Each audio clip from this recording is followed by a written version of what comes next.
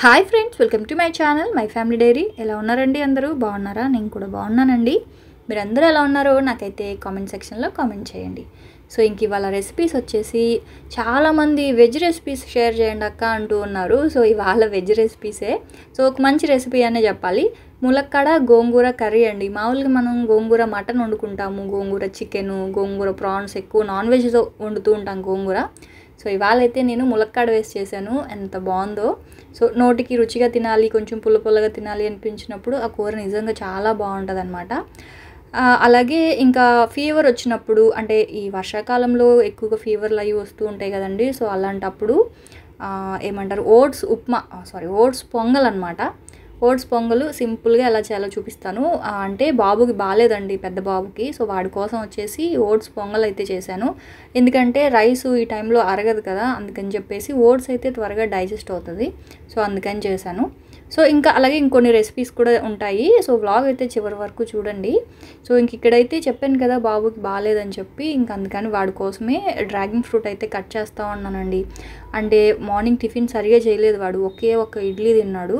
అందుకని చెప్పేసి ఇంకా ఫ్రూట్స్ అయితే కట్ చేసి పెడతా ఉన్నాను అనమాట అంటే ఒక హాఫ్ డ్రాగన్ ఫ్రూట్ ఒక బనానా అయితే కొంచెం కడుపులో ఏదైనా ఉంటుంది కదా అని చెప్పి అసలు ఇది కూడా తినట్లేదండి. అంటే ఫీవర్ కొంచెం తగ్గింది కానీ బాగా నీరసంగా ఉన్నాడు. అంటే ఈ వర్షాకాలంలో వచ్చే ఫీవర్స్ అన్నిటికీ కూడా మనకి ఈ డ్రాగన్ ఫ్రూట్ బాగా యూజ్ అవుతుందనే చెప్పాలి. మంచి ఇమ్యూనిటీ బూస్టర్ అనే చెప్పాలి ఈ డ్రాగన్ ఫ్రూట్ డ్రాగన్ ఫ్రూట్ కానీ పప్పాయ కానీ ఆ తర్వాత కీవీ ఇలాంటి ఫ్రూట్స్ అన్నీ కూడా ఈ వర్షాకాలంలో వచ్చే ఫీవర్స్కి చాలా మంచివట. సో అందుకని చెప్పేసి మా వారైతే డ్రాగన్ ఫ్రూట్ తీసుకొచ్చారు. అది కూడా ఫస్ట్ అయితే వాడు తినలేదు. ఇంకా బలవంతంగా నేను పెడతా ఉన్నాను. వద్దమ్మా నోరంతా చాలా చేదుగా ఉంది అంటున్నాడు వాడైతే. తినాలమ్మా తప్పదు ట్యాబ్లెట్స్ వేసుకోవాలి కదా అని చెప్పి పెడతా ఉన్నాను. అంటే బాగా పాపం ఏమంటారు ఫేస్ అంతా లాగేసిందండి. యాక్చువల్గా ఎగ్జామ్స్ జరుగుతున్నాయి. అయినా సరే ఇంకా స్కూల్కి పంపించలేదు. ఎందుకంటే స్కూల్కి వెళ్ళిన తర్వాత ఒకవేళ ఫీవర్ ఎక్కువైనా ఫీవర్ వచ్చినా ఇబ్బంది కదా అందుకని చెప్పేసి ఇంకా స్కూల్కి అయితే పంపించలేదు. పాపం వాడైతే ఎగ్జామ్స్ కదా ఆ టెన్షన్లో అయితే ఉన్నాడు వాడైతే.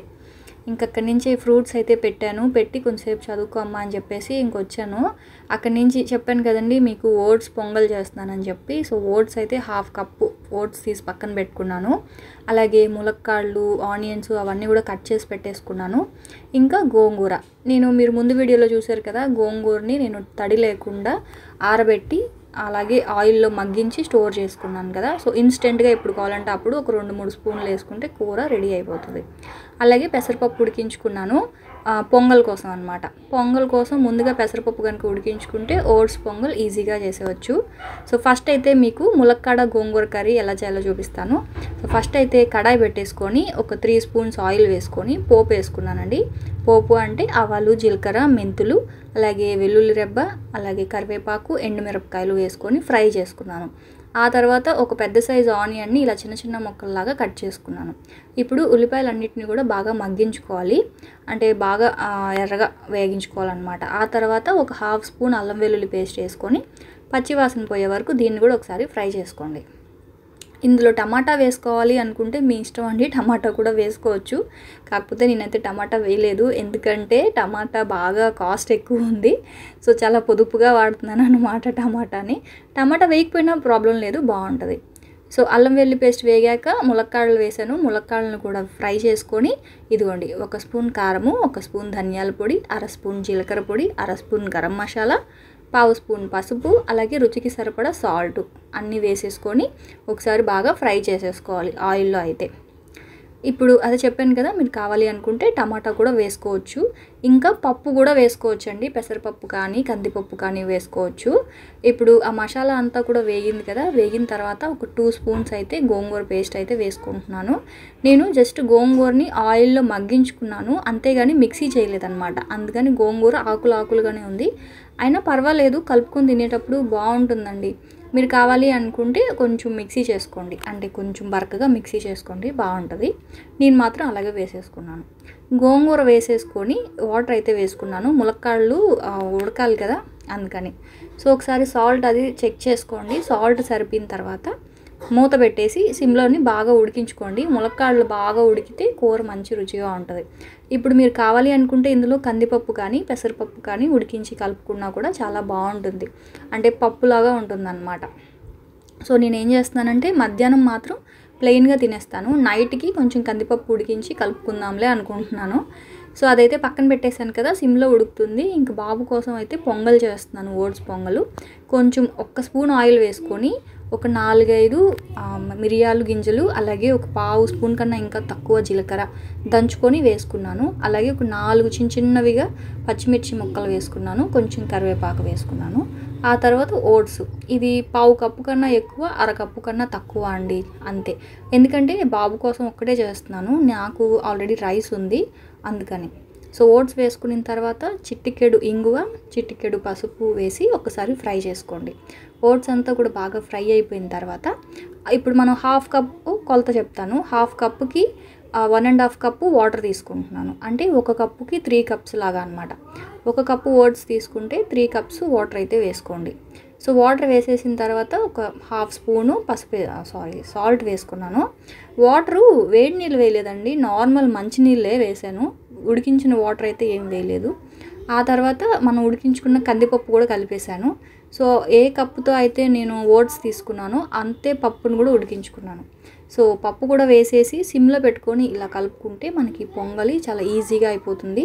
ఇది చిన్న పిల్లలకు కూడా పెట్టొచ్చండి. అంటే వన్ ఇయర్ నుంచి మనం పిల్లలకి అన్నం పెడుతూ ఉంటాం కదా సో చిన్నపిల్లలకి ఈవినింగ్ టైంలో కాకపోతే మార్నింగ్ లేదు నైట్ డిన్నర్లో కూడా ఈ పెసరపప్పుతో చేసింది చలవా ప్లస్ త్వరగా అరిగిపోతుంది. పసిపిల్లలకి త్వరగా ఫుడ్ అరగదు కదండి. అలాంటప్పుడు ఇలాంటివి చేసి పెడితే త్వరగా అరుగుతుంది. నేను మా చిన్నప్పుడు మా చిన్నపిల్లలకి అవే చేసి పెట్టేదాన్ని ఎక్కువగా. ఇంకా అక్కడి నుంచి పొంగల్ అయితే అయిపోయింది. ఇంకా ములక్కాడ గోంగూర కర్రీ కూడా రెడీ అయిపోయింది. నాకైతే చూస్తే మళ్ళీ నోరు కొడుతుందండి నిజంగా అంత కమ్ముగా ఉందని చెప్పాలి. ఇందులో మీరు చెప్పాను కదా కావాలి అంటే కొంచెం పప్పు ఉడికించి పప్పును కూడా కలుపుకోండి. నేను ఏం చేశానంటే కొంచెం పెసరపప్పు ఉడికించుకున్నాను కదా. సో కలుపుకొని తినేటప్పుడు కొంచెం పప్పు వేసుకొని తిన్నాను. చాలా బాగుందన్నమాట. సో ఇంకా ఇదిగోండి ఇదైతే పొంగల్ ఓట్స్ పొంగల్. సో మీరు చూస్తున్నారు కదా సేమ్ మన రైస్ పొంగల్ లాగానే ఉంటుంది. టేస్ట్ అలాగే ఉంటుంది అలాగే చూడడానికి కూడా రైస్ పెట్టి చేసిన పొంగల్ లాగానే ఉంటుంది అనమాట సో బాబుకి అయితే పెట్టేశాను అంటే వాడు అసలు తినట్లేదండి నేనే తినిపించాలంటున్నాడు.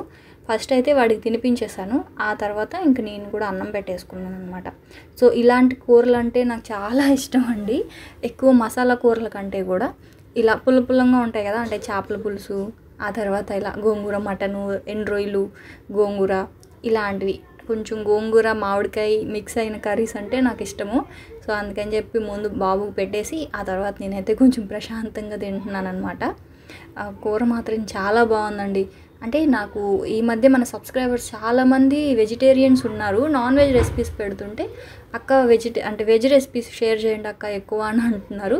సో నేను ఏం చేశానంటే వెజ్ రెసిపీస్ సపరేట్గా నాన్ వెజ్ రెసిపీస్ సపరేట్గా అలాగే బ్రేక్ఫాస్ట్ రెసిపీస్ సపరేట్గా లంచ్ బాక్స్ రెసిపీస్ సపరేట్గా ఇవన్నీ కూడా సపరేట్ సపరేట్ కేటగిరీలో ప్లేలిస్ట్లో పెట్టేశానండి. ఒకసారి ఛానల్లోకి వెళ్ళి చూడండి. ప్లేలిస్ట్లో మీకు ఏది కావాలో అవన్నీ ఉంటాయి అన్నమాట సో అప్పుడు మీకు రెసిపీస్ చూడడం కూడా ఈజీ అవుతుంది కదా? అందుకని అలా చేశాను. సో ఇంకా అక్కడి నుంచి అంటే ఇంట్లోనే ఉంటే కొంచెం వాడు అలా ఉన్నాడు డల్గా. అందుకని చెప్పి ఫ్రూట్స్ కొనుక్కుందామని చెప్పేసి స్పెన్సర్స్కి అయితే వచ్చాను. అక్కడికి వచ్చిన తర్వాత ఇదిగోండి ఈ బెడ్షీట్స్ ఇవన్నీ కూడా ఆఫర్ పెట్టున్నారండి. సిక్స్ హండ్రెడ్ అట. బెడ్షీట్స్ చాలా బాగున్నాయి. కింగ్ సైజ్ బెడ్షీట్స్ అంట. చూస్తున్నారు కదా సిక్స్ హండ్రెడ్ ఆఫర్లో ఉన్నాయి అని చెప్పేసి. కానీ బాగున్నాయి. యాక్చువల్గా నేను షాపింగ్ కానీ రాలేదు. జస్ట్ ఫ్రూట్స్ కొందామనే వచ్చాను. ఇంక అక్కడికి వచ్చిన తర్వాత ఆడవాళ్ళ కల్లా అసలే ఊరికే ఉండవు కదండి. ఇంకా ఈ గిన్నెలు ఇవన్నీ కూడా ఫిఫ్టీ పర్సెంట్ ఆఫర్లో ఉన్నాయి. అంటే వాళ్ళు ఫిఫ్టీ పర్సెంట్ ఆఫర్ అని చెప్తున్నారు కానీ యాక్చువల్గా వాటి ప్రైస్ అంతే. డీమార్ట్లో మనం అలా చూస్తూ ఉంటాం కదా. సో ఇది వచ్చేసి వన్ ఫిఫ్టీ రూపీస్ అట ఈ డబ్బా సెట్ కాకపోతే నేను అంత మనీ ఎక్కువ తీసుకుని రాలేదు. అందుకే నేను ఏమి కొనలేదు. కాకపోతే ఏమేమి తక్కువ రేట్కి వస్తున్నాయా అని చెక్ చేస్తూ ఉన్నాను అనమాట ఇవన్నీ ఆఫర్ ఫిఫ్టీ పర్సెంట్ ఆఫర్ అని చెప్పేసి అంటున్నారు. ఇలా బౌల్ సెట్స్ కానీ లేదంటే లంచ్ బాక్సులు సెట్ కానీ హాట్ బాక్సులు డిన్నర్ సెట్లు అన్నీ ఆఫర్లో ఉన్నాయి అంటున్నారు. ఆఫర్ ఏం కాదు. యాక్చువల్ వాటి ప్రైస్ అంతే లేండి. మీకు తెలుసు కదా సూపర్ మార్కెట్ వాళ్ళు ఇలాంటి ట్రిక్స్ ప్లే చేస్తూ ఉంటారని. కాకపోతే నాకు ఈ కప్పుల సెట్ మాత్రం భలే నచ్చిందండి. వన్ సెవెంటీ రూపీస్కి ఈ సెరా ఈ సిరామిక్ కప్పులు అనుకుంటా చాలా బాగున్నాయి అనిపించింది నాకైతే. చూస్తుంటే అంటే మనకి అంత త్వరగా పగిలిపోయేలాగా అనిపించట్లేదు. వంద రూపాయల కప్పుల సెట్ త్వరగా పగిలిపోతున్నాయండి. ఇప్పుడు నేను ఎన్ని కొన్నానో అన్నీ పగిలిపోతూనే ఉన్నాయి. ఈసారి మంచి కప్పుల సెట్ తీసుకుందామని చెప్పేసి ప్లాన్ చేస్తూ ఉన్నాను. అయితే నేను ఏంటంటే అన్నప్పుడల్లా షాపింగ్ చేయనండి. ఒక్క ఫుడ్కి తప్పనిచ్చి ఇంక దేనికి నేను అంత ఎక్కువ డబ్బులు ఖర్చు పెట్టను. ఆ కావాల్సినవన్నీ ఒక్కసారి కొనుక్కొని అప్పుడే ఒక్కసారిగా అన్నీ తెచ్చుకుంటాను అనమాట ఇప్పుడు కూడా ఇవి చూశాను కదా సో బాగున్నాయి అనిపించింది. వన్ సెవెంటీకి సో సరే తీసుకుందాంలే అని చెప్పేసి మైండ్లో అలా పక్కన పెట్టుకున్నాను. కప్పుల్ సెట్టు ఆ తర్వాత ఈ బాక్సులు కూడా చాలా బాగున్నాయండి. అయితే నాకు ఇంకొంచెం పెద్ద సైజ్ బాక్సులు కావాలి. ఎందుకంటే చపాతీలు స్టోర్ చేసుకోవడానికి. ఇవి చపాతీలు చిన్న చిన్న చపాతీలు పట్టేలా ఉన్నాయి కానీ పెద్దవి పట్టవు. ఇంకొంచెం పెద్ద సైజ్ కనుక అనుకోండి మనం చపాతీలు ఎంచక్క బాక్స్లో స్టోర్ చేసుకొని ఫ్రిడ్జ్లో పెట్టుకోవచ్చు కదా. కాకపోతే నాకు కావాల్సిన బాక్స్ సైజ్ అక్కడ లేదు. ఇవన్నీ కూడా ఫిఫ్టీ పర్సెంట్ అంటున్నారు కానీ యాక్చువల్గా వాటి ప్రైస్ అంతే. సిక్స్టీ రూపీస్ అండి ఈ కప్పు. ఇది కొంచెం చూస్తున్నారు కదా మీకు ప్రైస్ కనిపిస్తుందా? ఫార్టీ పర్సెంట్ ఫిఫ్టీ పర్సెంట్ అని చెప్పి ఇంకా అలా చెప్తా ఉన్నారు. కొన్ని చూశాను కానీ నేనేమి కొనలేదండి. చెప్పాను కదా నేనైతే మాత్రం ఫ్రూట్స్ కోసమే వచ్చాను. ఇంకా డ్రాగన్ ఫ్రూట్ అయితే అయిపోయింది. డ్రాగన్ ఫ్రూట్స్ను పప్పాయ ఇంకా బనానా మష్రూమ్స్ అవి తీసుకున్నాను అంతే. కావాల్సినవి తీసుకున్నాను. ఎందుకంటే ఎక్కువ కొన్నా కూడా బరువు నేను మోసుకోపోలేను. అసలే బాబుకు కూడా బాగాలేదు వాడు కూడా హెల్ప్ చేయలేడు కదా. ఇంకా మా వారు వస్తేనే ఇంకా గ్రాసరీస్ కానీ ఏమైనా కావాల్సినవి పాల ప్యాకెట్లు అన్నీ మా వారే తెస్తారు. కాకపోతే ఫ్రూట్స్ మాత్రం ఇంకా పెట్టాలి కాబట్టి తీసుకెళ్తా ఉన్నాను అనమాట సో ఈ అసలు పప్పాయ కూడా ఎంత కాస్ట్ ఉందండి. ఒక పప్పాయ హండ్రెడ్ వన్ ఫిఫ్టీ అలా ఉందన్నమాట. అక్కడ నేను డ్రాగన్ ఫ్రూట్ తీసుకున్నాను కదండి. అక్కడ వాళ్ళు నన్ను మోసం చేశారండి. కేజీ వన్ ఫిఫ్టీ చెప్పారు. సరే కేజీకి కనీసం ఒక త్రీ వస్తాయి కదా అని చెప్పి నేను చిన్న చిన్నవి తీసుకున్నాను. తీరా తీసుకున్న తర్వాత వాళ్ళు అన్నారు కేజీ లెక్క కాదండి పీస్ లెక్క అని చెప్పి piece eighty five rupees eighty five rupees అంట ఒక డ్రాగన్ ఫ్రూట్. అయ్యో అనిపించింది. బయట డెబ్బై రూపాయలు చెప్పారు. నేను ఇక్కడైతే ఇంకా తక్కువ ఉంటుందేమో అని ఇక్కడికి వచ్చి తీసుకున్నాను. బయటే తీసుకోవాల్సింది కదా అని చెప్పి ఫీల్ అయ్యాను అనమాట సో ఇంకా మష్రూమ్స్ తీసుకున్నాను. ఇంక ఇవేంటక్క అనుకుంటున్నారు కదా మనీ ప్లాంట్ అండి. హైబ్రోస్ తీయించుకుందామని వెళ్ళాను. అక్కడ ఏంటంటే హైబ్రోస్ ఆవిడ ఇంకా లేదనమాట క్లోజ్ చేసేసింది. సో క్లోజ్ చేసేసి ఉంటే ఇంకా అక్కడ మనీ ప్లాంట్ ఉండింది. ఒక నాలుగు కొమ్మలు అలా లాక్కొని వచ్చానమాట ఇంకా అక్కడి నుంచి ఇదిగోండి చూస్తున్నారు కదా వాటర్లో అయితే వేస్తున్నాను. ఇంక ఇవన్నీ కూడా ఇప్పుడు నాటాలి. అలాగే నిన్న రోజా పువ్వు మొక్కలు ఉంటాయి కదా వాటిని కూడా కొమ్మలు కట్ చేసి పెట్టాను. సో యూట్యూబ్లో చూశానండి. అలోవెరా జెల్ అప్లై చేసి నాటితే మొక్కలు బాగా వస్తున్నాయని. సో అవి వెయ్యాలి. మా వారు వస్తే మా వారి దగ్గర వేయించాలి. మా వారి చేతితో వేస్తే మొక్కలు చాలా బాగా వస్తున్నాయి. సో మా వారికి చెప్పాను అంటే తనకే పెట్టాను అనమాట సో ఇంక అక్కడి నుంచి ఈవినింగ్ అయింది. మా చిన్నోడు రాగానే ఆకలి ఆకలి అని స్టార్ట్ చేశాడు. సో ఇంకేం చేయాలో అర్థం కాకపోతే ఏం చేయాలో రెసిపీ నాకు అర్థం కానప్పుడు నాకు గుర్తొచ్చే రెసిపీ ఒకటేనండి పాస్తా. మా ఇంట్లో ఏ టైం అయినా సరే పాస్తా అంటే చీజ్ ఎప్పుడు ఉంటుంది కాబట్టి ఫటాఫట్ అని పాస్తా చేసేస్తాను. సో ఏం లేదు జస్ట్ ఒక స్పూన్ ఆయిల్ వేసుకున్నాను. ఒక్క స్పూను గోధుమ పిండి వేసుకున్నాను. చూస్తున్నారు కదా ఒక్క పావు స్పూన్ కన్నా ఇంకా తక్కువే కారం వేసుకుంటున్నాను. అంటే జస్ట్ కలర్ కోసం వేస్తున్నాను కారం అనేది. కొంచెం పెప్పర్ వేస్తాను. చిటికేడు కారము చిటికేడు పెప్పర్ వేస్తాను అంతే. ఇది ఓన్లీ పిల్లల కోసమే చేస్తాను. మా కోసం కాదనమాట.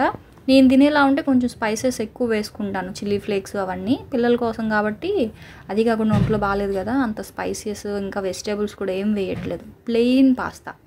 ఏం లేదు. ఒక స్పూన్ ఆయిల్ వేసుకున్నాను ఒక స్పూన్ గోధుమ పిండి వేసుకున్నాను చిట్టికేడు కారం వేసుకొని ఫ్రై చేసుకొని మరిగించుకున్న పాలని వేసేసాను. పాలు వేసేసి బాగా ఇలాగ కలుపుకున్నాను.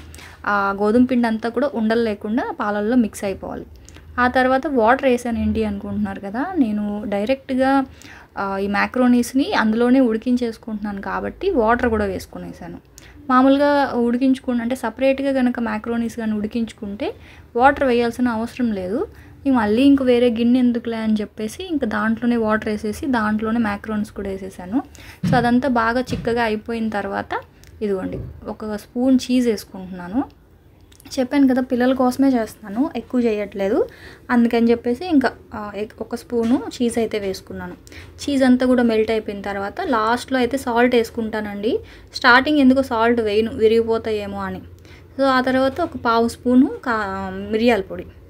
పావు స్పూన్ మిరియాల పొడి సాల్ట్ చీజు వేసేసుకొని బాగా కలిపేసుకున్నాము అంటే దగ్గర పడిపోద్దండి. చీజ్ వేసిన వెంటనే మనకి బాగా చిక్కగా అయిపోద్ది అనమాట సో అప్పుడు ఇదిగోండి చూస్తున్నారు కదా ఇలా క్రీమీ క్రీమీగా ఉంటుంది. పాపం ఒంట్లో బాగాలేనప్పుడు కూడా ఇది కొంచెం నోటికి రుచిగా ఉంటుందని చెప్పాలండి. అది కాకుండా వర్షాకాలం కదా సో ఇలాంటి స్నాక్స్ ఈజీగా అయిపోతాయి. ప్లస్ పిల్లలకు కూడా ఇష్టము హెల్దీ కూడా. పాస్తా అనేది రెండు రకాలుగా వస్తాయండి. గోధుమ పిండి పాస్తా మైదా పిండి పాస్తాలను అమ్ముతారు బయట. సో మనకి వి- విడిగా అంటే లూజ్ ప్యాకెట్స్ అమ్ముతారు. సో అవి ఏంటంటే మైదా పిండివి అవి కొనకండి. మనకి కంపెనీ బ్రాండెడ్వి దొరుకుతాయి. కొంచెం కాస్ట్ ఎక్కువ ఉంటాయి. ప్లస్ అవి ఉడకడానికి ఎక్కువ టైం తీసుకుంటాయి. అంటే గోధుమ పిండితో చేసిన పాస్తా అంటే మ్యాక్రోనిస్ కానీ పాస్తా కానీ ఎక్కువసేపు బాయిల్ అవుతాయి అన్నమాట మనకు అదే ఇండికేషన్ అని చెప్పాలి. సో ఫాస్ట్గా ఉడికిపోయాయి అంటే అది మై మైదాతో చేసిన పాస్తా. ఎక్కువసేపు కనుక ఉడికాయి అంటే అది గోధుమ అంటే గోధుమలతో చేసిన పాస్తా అనమాట సో ఇదిగోండి చూస్తున్నారు కదా ఇది చిన్న పిల్లలకు కూడా పెట్టొచ్చండి. అంటే వన్ ఇయర్ పిల్లలకు కూడా పెట్టొచ్చు. వన్ ఇయర్ టెన్ మంత్స్ ఉన్నప్పుడు. అంటే నమలడానికి పళ్ళు వచ్చాయి అంటే చాలు. అని చక్కగా పెట్టేయచ్చు. ఒంట్లో బాగాలేకపోయినా పెట్టొచ్చు. అంటే కడుపుతో ఉన్న వాళ్ళు కూడా తినొచ్చు. చాలా మంచిదండి పాస్తా మాత్రం. ఇంకా వీడికైతే ఫస్ట్ ఇచ్చాను. ఫస్ట్ ఏమో వద్దమ్మా వద్దు నాకు అని అంటున్నాడు కానీ తినే అమ్మ కొంచెం తినేసాయి అని చెప్పేసి ఇంక ఇచ్చాను. అంటే కొంచెం కాకబట్టాను అనమాట నీకోసమే చేశాను రా అంటే తీసుకున్నాడు వాడు. పక్క నుంచి మా చిన్నోడేమో అదేంటి నా కోసం చేయలేదా అని అడుగుతున్నాడు. ఇద్దరు కోసం చేశాను లేరా బాబు తినండి అని చెప్పి ఇచ్చానమాట అంటే ఎగ్జామ్స్ జరుగుతున్నాయని చెప్పాను కదా ఇంకా చదువుతూ ఉన్నారు. ఈ లోపల చేసి ఇచ్చాను. ఇంకా వాళ్ళు తిన్నారు అంటే నాకు కొంచెం సాటిస్ఫాక్షన్ అండి. ఇంకా మళ్ళీ రాత్రి ఇంకా ఎయిట్ థర్టీ నైన్ ఆ టైంకి భోజనం చేస్తాం మేము. మ్యాక్సిమం ఎయిట్ థర్టీకి స్టార్ట్ చేసామంటే నైన్ కల్లా ఫినిష్ అయిపోద్ది మా డిన్నర్ అనేది. సో ఇంకా నైట్కి డిన్నర్ కూడా అదేనండి. చెప్పాను కదా ములక్కాడ గోంగూర కర్రీ ఉంది కాబట్టి అదే అడ్జస్ట్ చేసేసుకొని ఆపడాలో లేకపోతే ఏదో పెట్టుకొని తినేస్తాం అంతే. సో ఇంకా అక్కడి నుంచి పిల్లలకైతే పెట్టేసి ఇంకా మేడ మీదకి అయితే వచ్చాను. ఇవాళ మా మేడు మార్నింగ్ రాలేదండి. ఆవిడ ఆవిడకి ఏదో పని ఉందని మార్నింగ్ రాలేదు. అప్పుడు ఈవినింగ్ వచ్చిందనమాట. సో ఆవిడ కడిగేసి వెళ్ళింది. అందుకే మేడంతా తడి తడిగా ఉంది. ఇంకా అక్కడి నుంచి అవి కొంచెం డ్రై అయిన తర్వాత సామాన్లు అయితే కిందకి పట్టుకెళ్ళాలి. ఇంకా వర్షం పడేలా ఉంది. చెట్లకు నీళ్ళు వేయాలా వద్దని ఆలోచిస్తూ ఉన్నాను. కాకపోతే మా మేడేమో నేను వేసేసానమ్మా అని చెప్తుందనమాట ఆవిడ. పోనీలే అమ్మ నాకు ఒక పని తప్పించావు అనిపించింది. ఇంక ఈ లోపల ఇదిగోండి బట్టలన్నీ మార్నింగ్ ఆరబెట్టిన బట్టలన్నీ కూడా తీసేస్తూ ఉన్నాను. సో అదనమాట అండి ఇవాళ వ్లాగ్ చూసారు కదా? సో మార్నింగ్ నుంచి బాబుకి బాగాలేదు కాబట్టి కొంచెం హెవీ రెసిపీస్ కాకుండా సింపుల్ రెసిపీస్ అయితే చేశాను. సో మరి మీకు ఈ వ్లాగ్ ఎలా అనిపించిందో నాకైతే కామెంట్ సెక్షన్ షేర్ చేయండి. సో రేపటి వ్లాగ్ తోటి మళ్ళీ కలుస్తాను ఫ్రెండ్స్ అప్పటి వరకు ఉంటాను. Bye friends